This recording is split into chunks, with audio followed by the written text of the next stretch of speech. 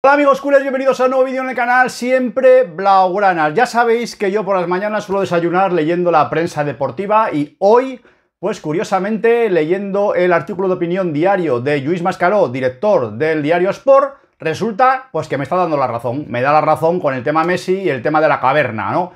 Es curioso porque me he sentido un poco solo ayer y bueno, pues hoy con el tema este de defender, eh, no, no, no, ya tanto a Messi, sino la situación de tergiversar y manipular lo que él pedía para renovar, para cargar contra el Barça y para hacer o, que caigamos en la trampa, hacer que caigamos en la trampa a los culés de que odiemos a Messi, pues muy poca gente, eh, no digo del canal, eh, aquí en los seguidores sabéis muchos, muchos, eh, bueno, pues eh, apoyado mi opinión y también algunos eh, estáis en contra y la respeto profundamente, lógicamente, pero también las redes sociales pues he visto algún, algún youtuber sí que, sí que estaba en esa misma idea, pero la mayoría no. No, bueno, pues mirad, aquí tenéis hoy el artículo de opinión de Luis Máscaro en el que me da bastante la razón y opina bastante parecido a mí. Incluso con el titular yo creo que me, copia un poco, ¿no? Esto es broma, ¿no? Me copia un poco la palabra cloaca, que yo ya lo utilicé en algún vídeo para referirme a, la caverna y a todo el entorno madridista, ¿no? Y, titula, el titular hoy de la opinión es Las cloacas vuelven a atacar al Barça. El artículo lo vamos a comentar, dice, el mejor Barça de la historia humilló deportivamente al Madrid. El Barça del Tridente formado por Laporta en el palco, Guardiola en el banquillo y Messi en el campo infligió las derrotas más dolorosas de todos los tiempos al equipo, blanco. Mucha razón, ahí está, ahí, es donde duele, ¿no? Ahí empieza todo, ¿no? Aquí empieza todo, amigos. En la Liga y en la Champions. Y eso generó mucho rencor y mucho odio. Un rencor y un odio que siguen latentes. Por eso, bueno, y, lo vemos porque no hay más que madridistas hablando de la 14, pero todo el día metidos en canales del Barça, que no solo viven en canales del Barça, tienen una barcelonitis aguda.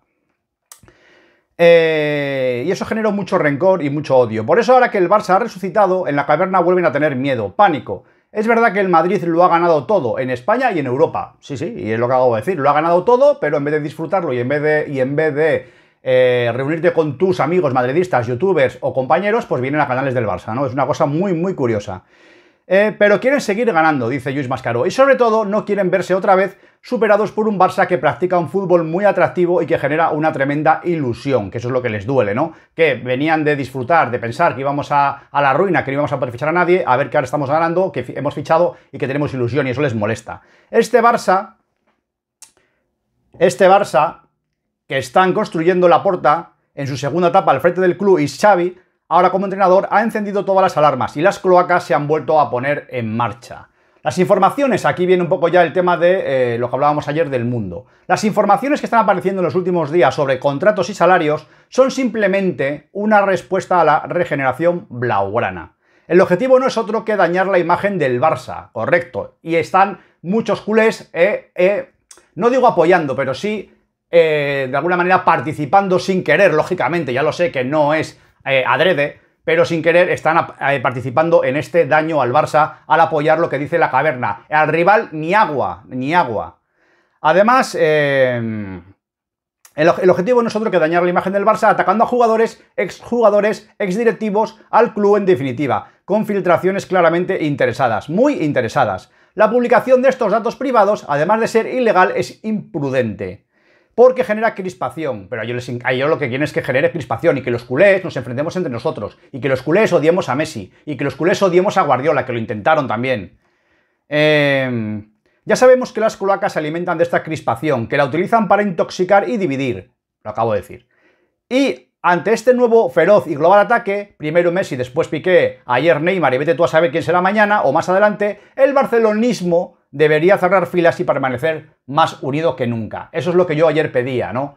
Que eh, una cosa es que nos pueda parecer bien o mal algunas cosas, a mí tampoco me parece bien todo lo de Messi, ni todo lo de Piqué, ni todo lo de Laporta incluso, ¿no? Pero, eh, y seguro que si miramos y escarbamos de Xavi de Iniesta, seguro que también hay alguna cosa que no nos parece bien, pero no hay que participar en, eh, en eso, ¿no? En echar mierda sobre el Barça porque ya lo hace la caverna y nosotros caemos en la trampa, ¿no? El Barça hizo el miércoles un contundente comunicado en el que expresaba su indignación por la filtración de documentos que forman parte de un procedimiento judicial y anunció que los servicios jurídicos de la entidad están estudiando las medidas oportunas a emprender. La porta de esta forma defiende al club, aunque las informaciones hagan referencia a la etapa de Bartomeu, porque el escudo está por encima del presidentes, de entrenadores y de jugadores. El escudo está por encima de las guerras fratricidas. Vamos a ver, si no es un tema de Bartomeu, de defender a Bartomeu, no. Yo, no, yo, yo soy el, mayor contrario a Bartomeu de la historia del, fútbol del Barça. Pero eh, lo que no voy a tolerar es que se saque información que es verdad, que es cierta, yo no digo que no sea cierta la, información del mundo de Piqué ni de la de Messi,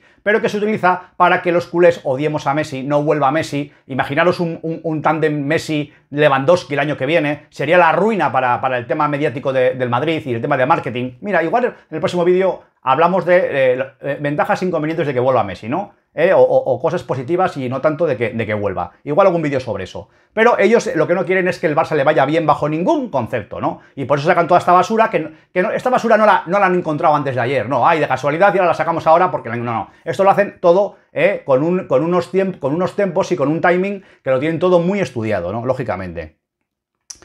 Eh, y no tiene nada que ver eh, con apoyar a Bartomeu, ni tiene nada que ver con defender eh, una, situación desastrosa que hizo Bartomeu, porque es verdad, y eso sí que lo dijeron muchos seguidores en el, en el, canal, y lo comparto, que a Messi, aunque se merecía ganar muchísimo dinero, se le llegaron a pagar cantidades estratosféricas. Pero ayer estábamos hablando de si realmente esos 11 puntos que pedían una renovación eran tan exagerados, y no lo eran. Si se manipula y se tergiversa y se exagera, pues lo parece, pero no lo era, no era dentro de lo que es un contrato de un jugador de élite, el mejor jugador del mundo y de la historia, estamos hablando, no de un Mindundi, no de un jugador cualquiera, no de un jugador random, ¿me explico?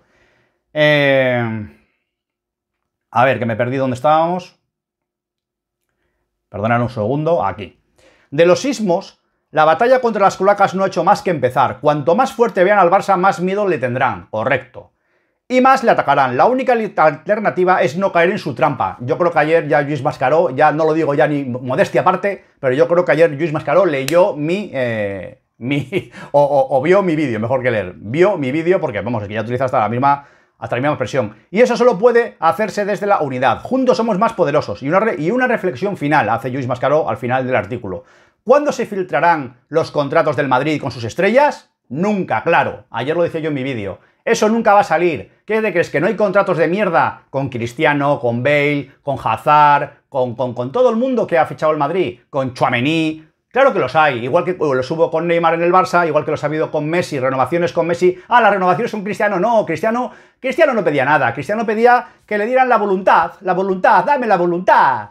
Florentino, lo que tú quieras. No, no me jodas, hombre, no me jodáis, no me jodáis, no caigamos en esa trampa, no seamos ingenuos, por favor. Ha pasado lo mismo con Cristiano, ha pasado lo mismo con todos los jugadores, porque es lo normal. Yo ayer lo decía, lo que pedía Messi, ¿eh? Es lo normal que piden todos los jugadores. Un puto palco lo tienen todos los jugadores del Barça y del Madrid, importantes en, Madrid y en Barcelona. Un puto avión de mierda que vale cuatro putos duros en comparación con lo que ganan, es algo que hace el club muchas veces, pues por, pues bueno, pues por como la propina, ¿no? Como la propina. Sí, ya sé que gana muchos millones y se lo pueden pagar, claro que se lo pueden pagar. Claro que se pueden pagar, si se pueden pagar el puto estadio nuevo del Barça o el del Madrid, se lo pueden pagar. Pero son, eh, bueno, pues, pues como, como aguinaldos que da el club, porque el club, un, vuelo de avión a Argentina le sale por cuatro duros. ¿O qué creéis? Que al Barcelona, eh, después de pagar no sé cuántos millones de euros de sueldo a, Messi, le supone eh, una barbaridad pagar un, puto vuelo de avión privado a Argentina. Hombre, por favor, por favor. Entonces, Vamos a ver, yo quería sacarlo de Luis Mascaró porque, bueno, pues eso, eso es lo que yo también pienso y, es, y un poco, pues vengo a, a, corroborar lo que yo ayer decía en el vídeo, ¿eh? Que Joyce Mascaro ha visto mi vídeo y hoy me da la razón, ya que seguramente no lo haya visto, me, explico, que igual sí vete a saber, ¿no? Porque, bueno, ya, ya, ya el canal es más conocido de lo que yo a veces parece, ¿eh? De lo que a veces parece. Sinceramente lo digo que a veces me quedo alucinado con algunos youtubers que incluso eh, importantes del Barça que sé que conocen mi, canal y, bueno, pues es, de agradecer y es de, es de, bueno, es, un orgullo, ¿no? Es como, es, como decía el rey eh, mérito de España, es un orgullo y satisfacción, ¿no? Saber que, que mucha gente ya va conociendo el canal. Bueno, en fin, chicos, simplemente quiero que quede claro esto para reflexionar, para que no le hagamos el juego a la caverna, para que no le hagamos el juego al madridismo rancio. No todo el madridismo es así, pero sí que hay una parte de un madridismo rancio, casposo y antibarcelonista que no quiere nada bueno para el Barça, como también es lógico, que yo lo entiendo que no quieran nada bueno para el Barça, porque son nuestro máximo rival. Pero una cosa es eso, ¿eh? Eh, dentro de, lo ético y lo moral y otra cosa es sacar mierda solamente para que encima los culés vayamos diciendo Messi, vaya sin vergüenza, es el mejor jugador de la historia del Barça. Yo lo he dicho 20 veces, ¿eh? Ayer lo he tenido que aclarar a muchísimos seguidores del canal y lo vuelvo a aclarar sin ningún problema. Cualquiera que, vea, que haya visto mi canal, que sé muchos, lo seguís desde hace mucho tiempo, sabéis que yo soy primero del Barça y que no pongo al Barça por encima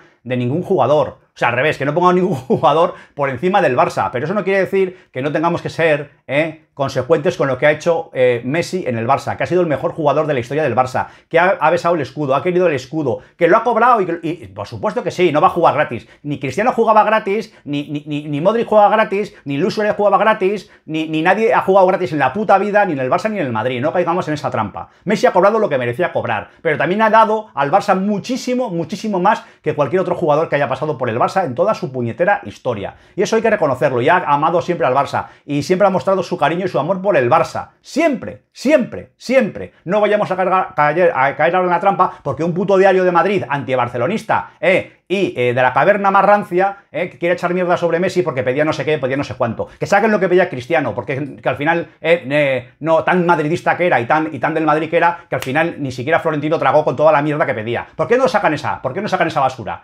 Porque no interesa, porque solo hay que echar mierda contra el Barça. Por favor, todos juntos, Visca Barça y todos a, una. Venga, suscribiros al canal si os gusta, lo dejo aquí, darle a like y nos vemos en próximos vídeos. Un abrazo a todos.